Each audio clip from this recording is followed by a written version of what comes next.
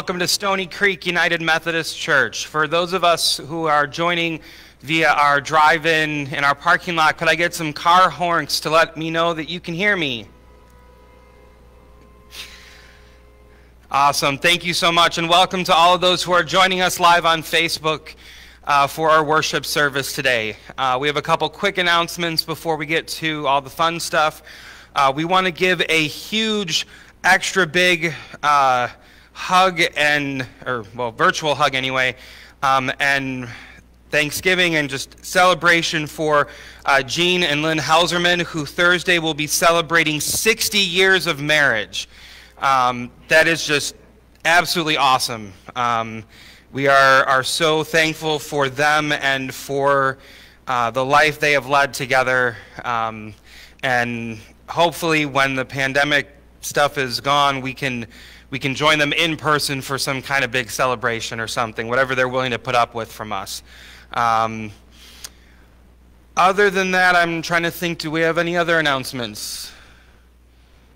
I don't think so. Um, don't forget, uh, if you are part of our board of directors or staff parish, uh, we will have our charge conference November 2nd uh, via Zoom. Um, and I'll have an email coming out with more info on that uh, soon for those folks. Um, but I think that's it. So let's get down to the down to the reason why we're here to worship and praise our God.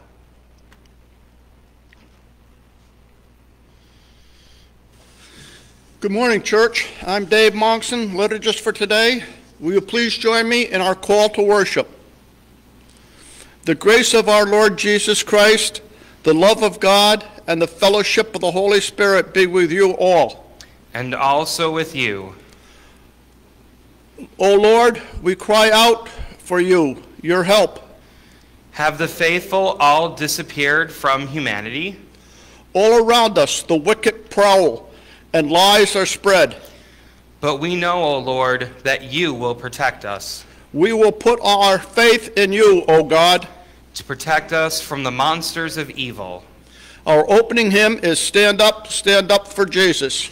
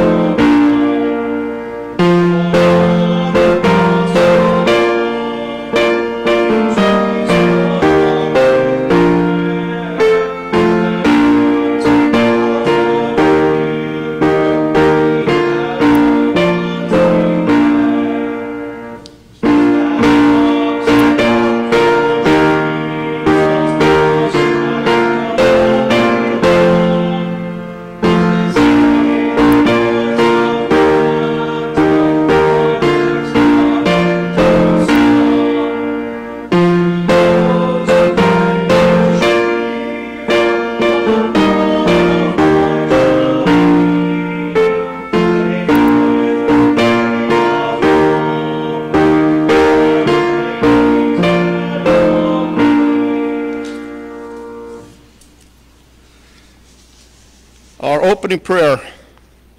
Please join me. People, King of kings and Lord of lords, we know that none are above you, O God. Even Even when when the enemies we face Are as tall as mountains and as threatening as the end of our world.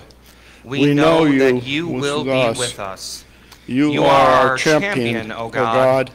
And, And we we ask ask you to bless us with your presence here Here, as we mm-hmm. lift to you our praises and thanksgiving.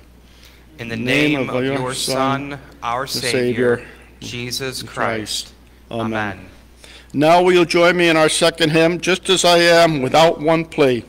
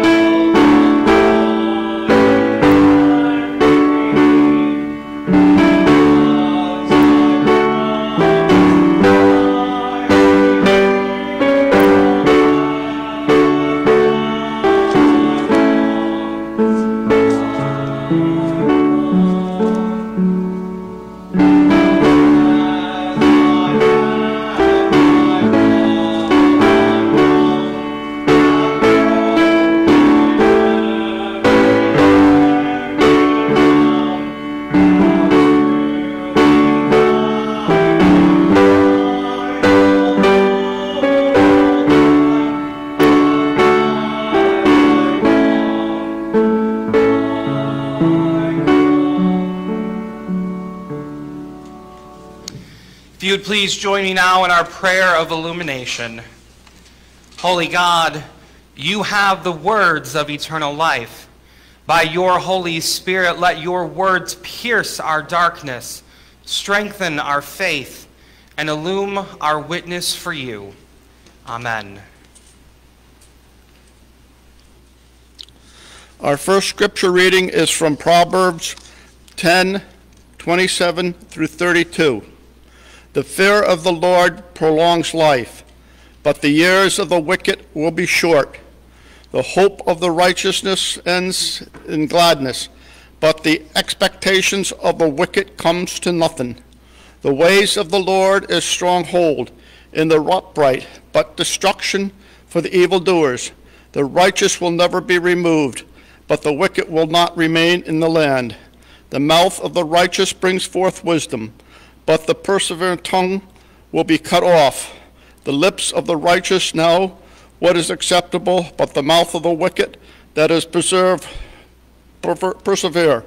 The word of God for the people of God. Thanks be to God. Our God has bestowed us with favor and honor through Christ, who has given us the words of eternal life. From this fullness, let us now offer our gifts of thanksgiving in the name of Jesus Christ, our Savior and Lord. We will now collect the offering.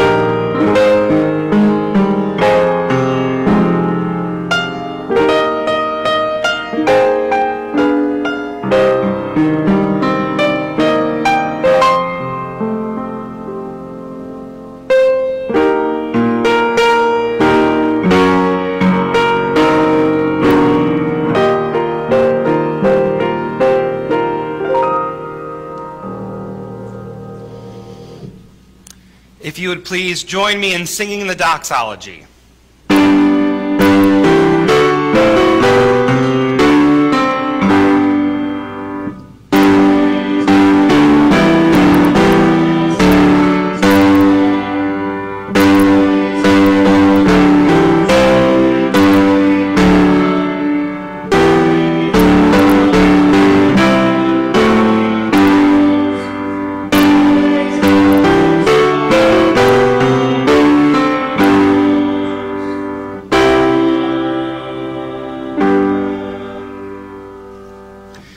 Living God, we give thanks to you for Christ, the bread from heaven through whom we offer these gifts. Endow these gifts with your power, that they may express your steadfast love and impart your sustaining strength to all of those in need. Amen. I invite you now to a time and an attitude of prayer. Holy God, we come before you this day with prayers of thanksgiving for the many blessings that you bestow upon us in our lives. We are excited to be able to celebrate so many things in our lives from wedding anniversaries to birthdays to so many other milestones that are important to us and are part of our story in your creation. And even though we may not be able to celebrate the way we normally would or the way we would prefer because of this pandemic, we know that there is love going out across this world to one another from our loved ones and even many who may not know us that well.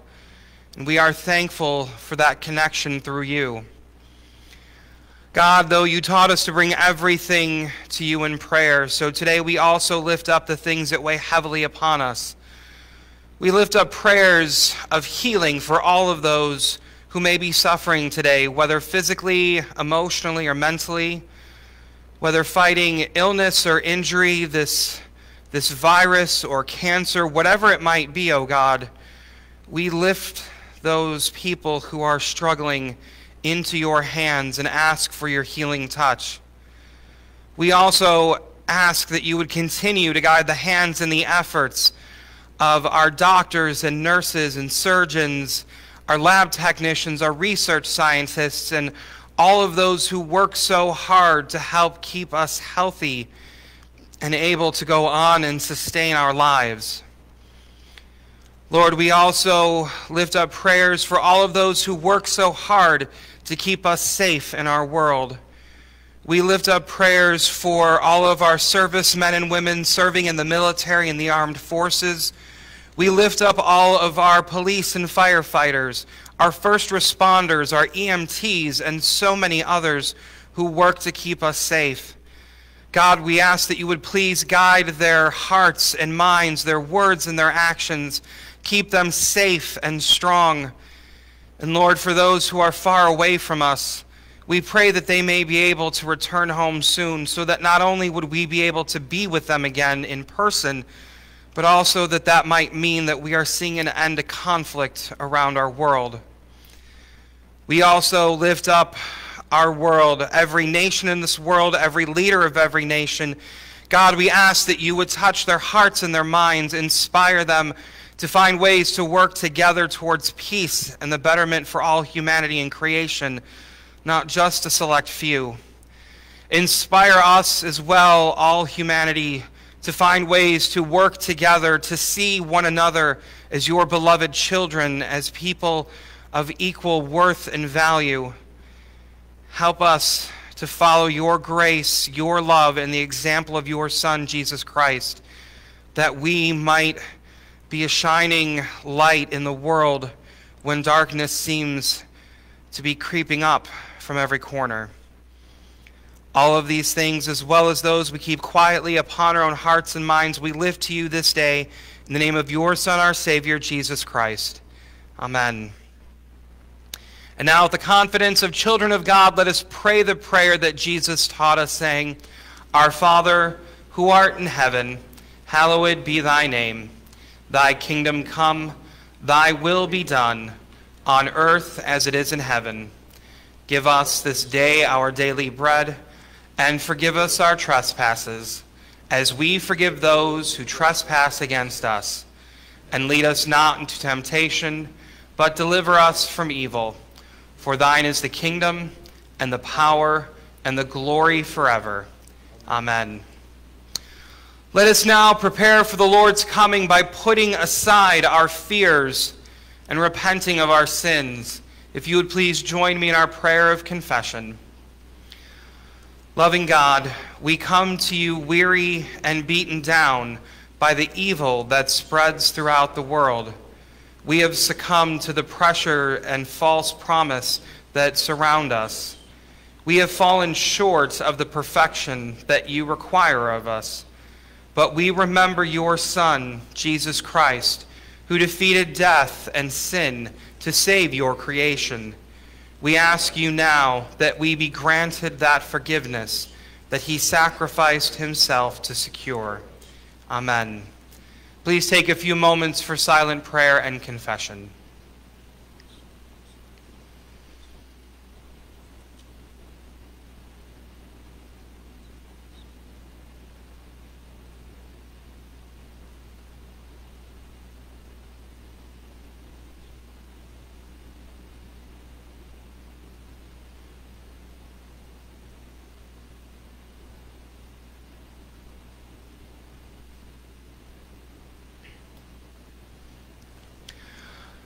Beloved children of God, fear not. The grace of God appears, bringing salvation to all. Our sins are forgiven.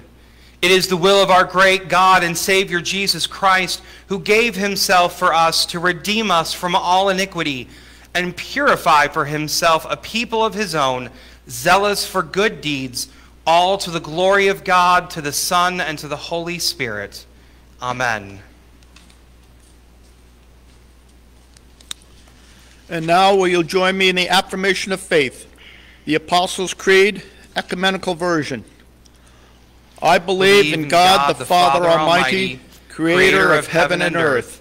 I believe in Jesus Christ, his only Son, our Lord, who was conceived by the Holy Spirit, born of the Virgin Mary, suffered under Pontius Pilate, was crucified, died, and was buried. He descended into the dead. On the third day he arose again. He ascended into heaven, is seated at the right hand of the Father, and will come again to judge the living and the dead. I believe in the Holy Spirit, the holy universal church, the communion of saints, the forgiveness of sins, the resurrection of the body, and the life everlasting. Amen. Amen. Now, second scripture reading, Ephesians 6, 10 through 17. The whole armor of God. Finally, be strong in the Lord and in the strength of his power. Put on the whole armor of God so that you may be able to stand against the wiles of the evil. For our struggle is not against enemies of the blood and flesh, but against the rulers, against the authorities, against the cosmic powers of this present uh, darkness, against the spiritual forces of evil in the heavenly places. Therefore, take up the whole armor of God, so that you may be able to withstand on that evil day, and having eh, done everything to stand firm, stand before and fasten the belt of truth around your waist, and put on the breastplate of righteousness. As shoes for your feet, put on whatever will make you ready to proclaim the gospel of peace. With all of these, take the shield of faith, with which you will be able to quench all the flaming arrows of the evil one. Take the helmet of salvation and the sword of the Spirit, which is the word of God. Thanks be to God for this world people. And our next song is number 308 Thine Be the Glory.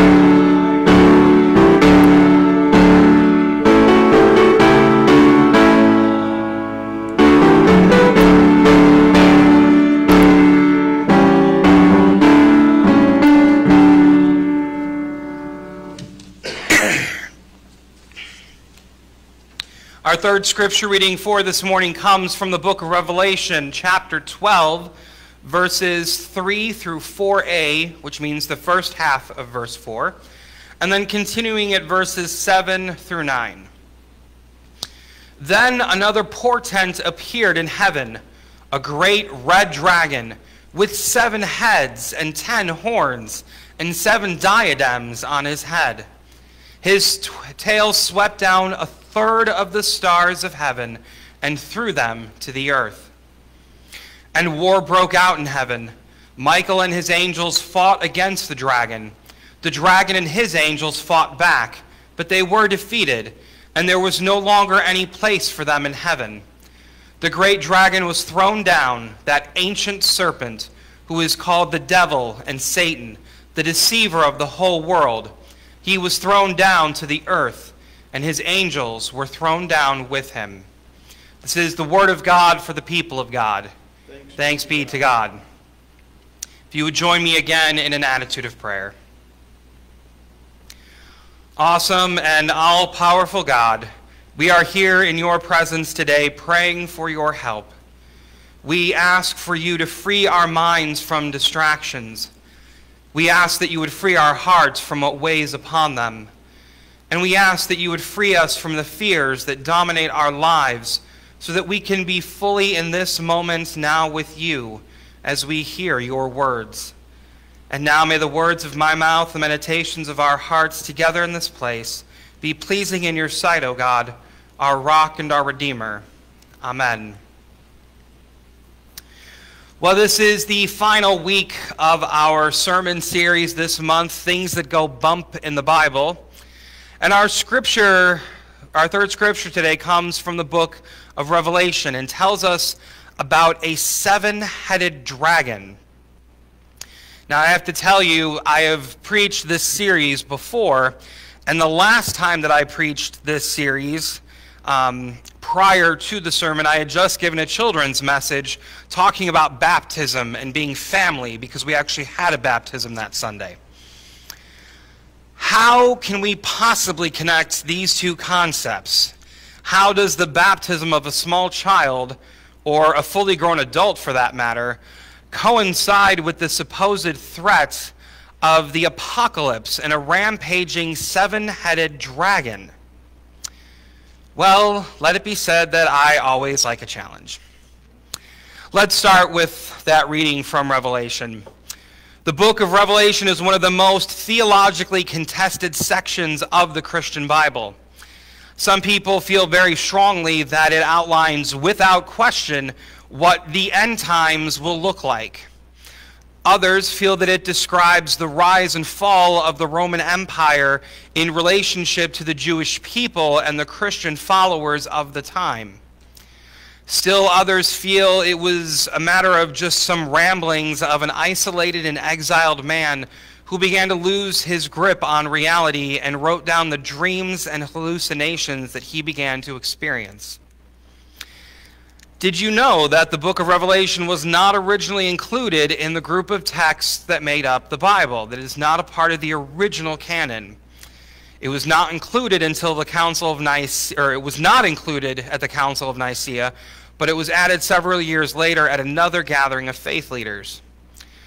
Regardless of how you take these passages, whether as literal truth, theological interpretation, or just some crazy stories, there is a lot of value here for everyone, regardless of where you may fall on the theological spectrum.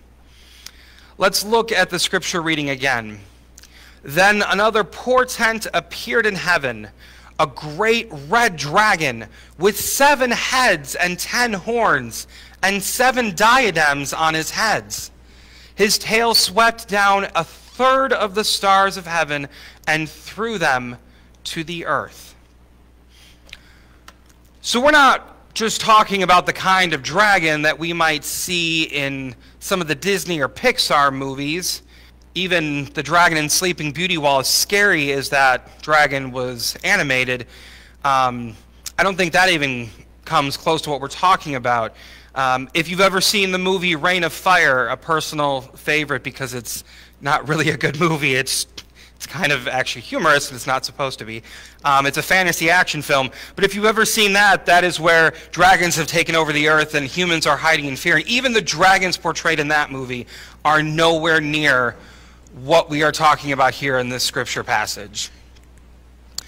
No, we're talking about a gigantic, huge, monstrous creature with seven, seven heads ten horns and a crown on each of his heads. And this thing doesn't sound very friendly, like, as I mentioned before, some of the creatures from Disney or Pixar. This is definitely not something you would have seen in How to Train Your Dragon. No, we read about how its tail knocked a third of the stars of heaven down to the earth. Let me say that again. It knocked down a third of the stars of heaven to the earth. I believe that I have an immensely powerful imagination. Um, and I'm still not sure that I can completely begin to fathom what that looks like. This is some serious power and a very real threat to humanity and creation. This, this thing, the seven headed dragon, it's not messing around. This is without question one creature that I know I would not want to cross paths with. But as we continue to read on, we find the hope and the salvation that we have in God. It continues with, and war broke out in heaven. Michael and his angels fought against the dragon. The dragon and his angels fought back, but they were defeated, and there was no longer any place for them in heaven.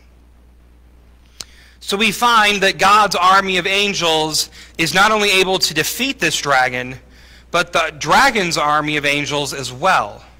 Victory is secured, right? So all's good, threats neutralized, happy ending all around. Yeah? We can all go live happily ever after in joy and peace, playing music on harps and, and lutes and lyres, just like a Disney or Pixar cartoon or some other fairy tale story. Good times. Well, not quite. You see, if we read on, we see that the battle continues down here on earth, and there's a lot more to come. The dragon continues to attack, and verse 17 actually goes on to tell us that the dragon was angry, shocker, and went off to make war on those who keep the commandments of God and hold the testimony of Jesus. Well, guess what, folks? That's us. That is all Christians in the world. The dragon is now focusing its anger and attack against people like us who claim Christ and are in relationship with God. But there are some things that we claim about in our faith traditions that bring us hope. We believe in an all powerful God, one that loves us and wants to be in relationship with us. We have read here that God's angels can defeat this great dragon. So we know that we are not alone to fend off this attack, this, this push. We are not alone. It is not just us, God is with us. Let's take a moment or two to step away from the scary dragon running around eating things and spraying fire all around, whatever it might be doing, and look at our theology of baptism. And when I say our theology, I mean the United Methodist Church's theology that we claim when we are, you know, in worship together, whether across the internet or in the same physical space, as well as when we are out in the world. I know many of you have already been baptized, but I'm guessing for the large majority of you, it happened when you were very young and you might not remember any of it or even parts of it. But regardless of when it may have happened for you, some particularly important things are recognized as happening in that moment. One of those things is that we claim a new identity. When we become Christians, we are called, or we are said to be putting on Christ. And baptism is a celebration of this new identity in Christ. That is why we start the baptism, baptism with renouncing evil and sin of the world. And then we move on to pledging our loyalty to Christ. Another thing that is happening during this time is that we are entering into a covenant with God.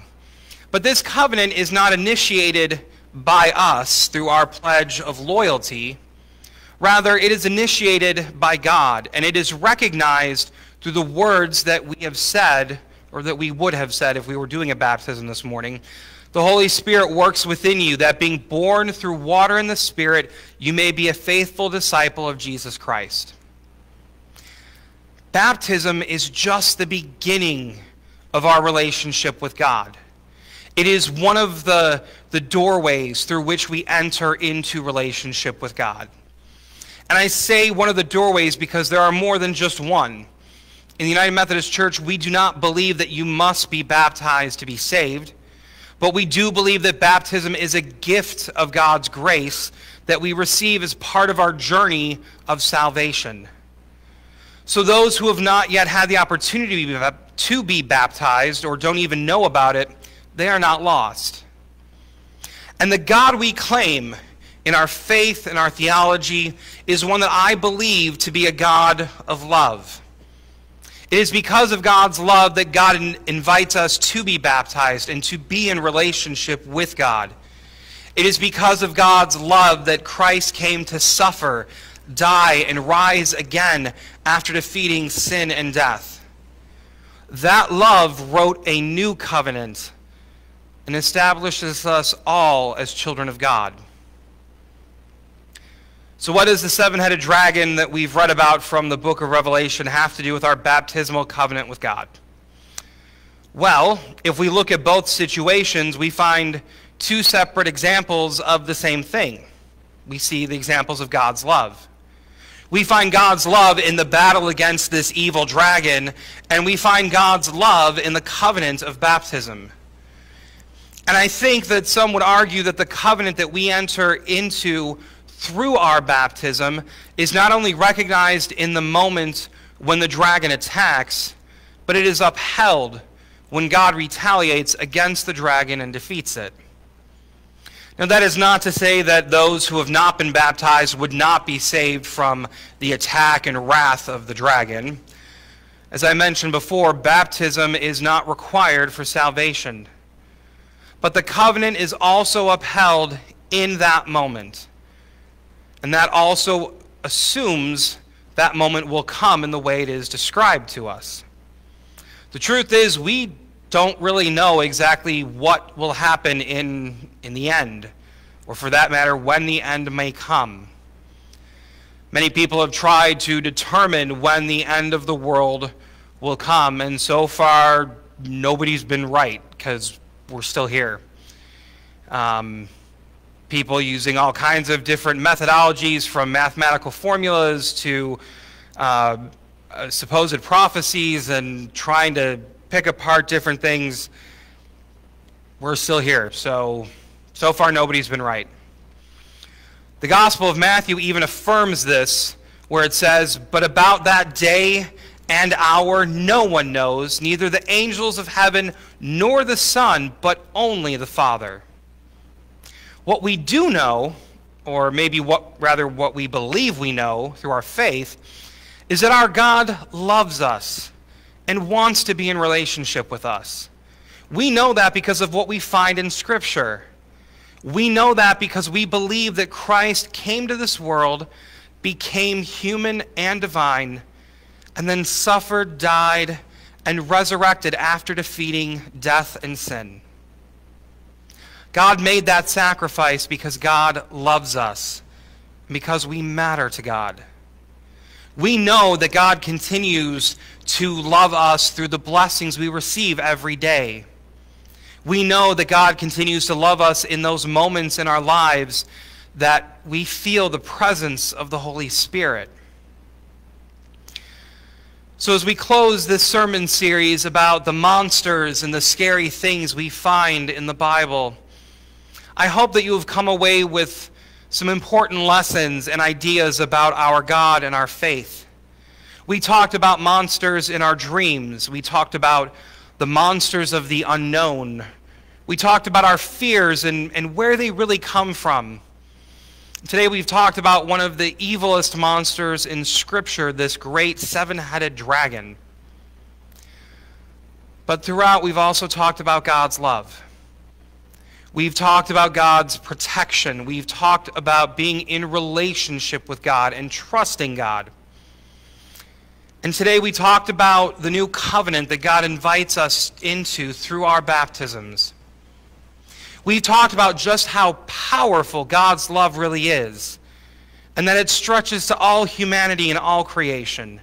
In every dark place, we still found God's love there. In every scary moment, we still found God's love with us.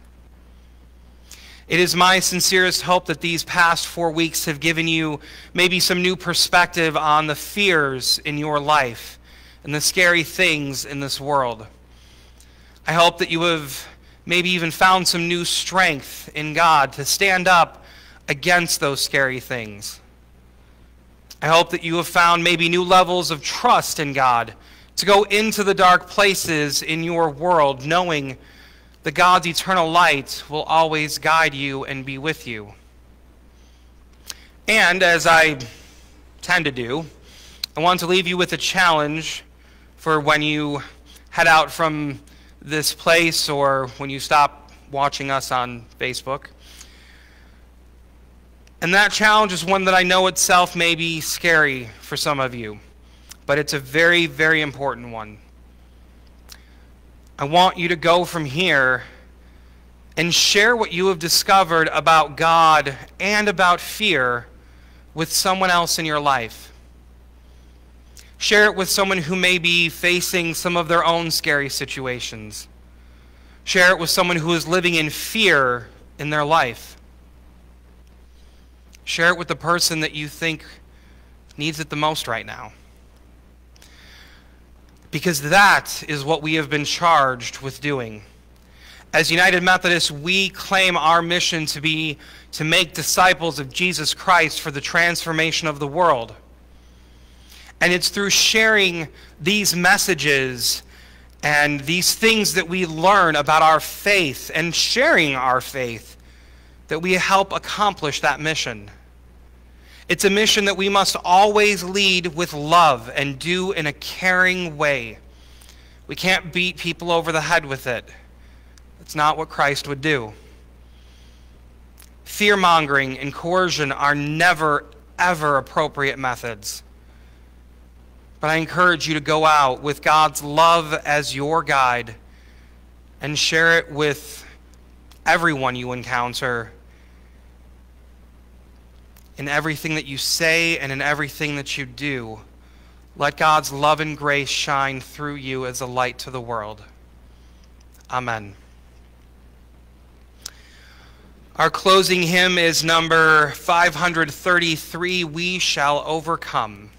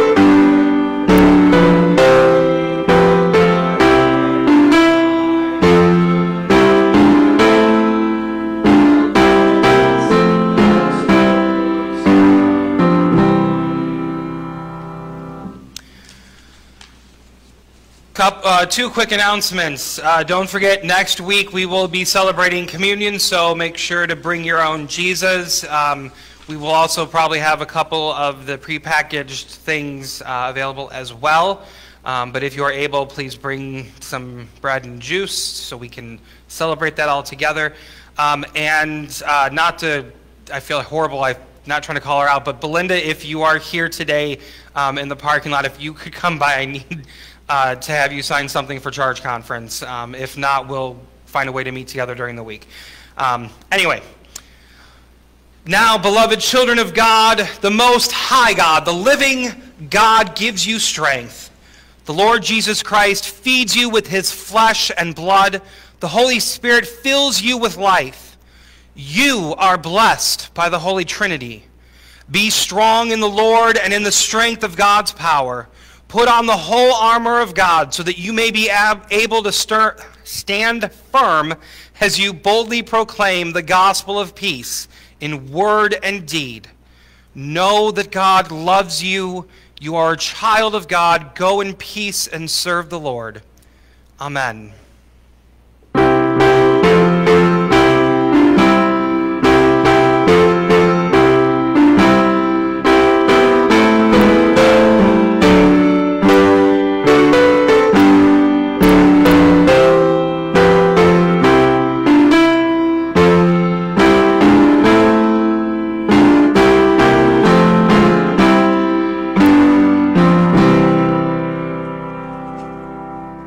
Have a good week.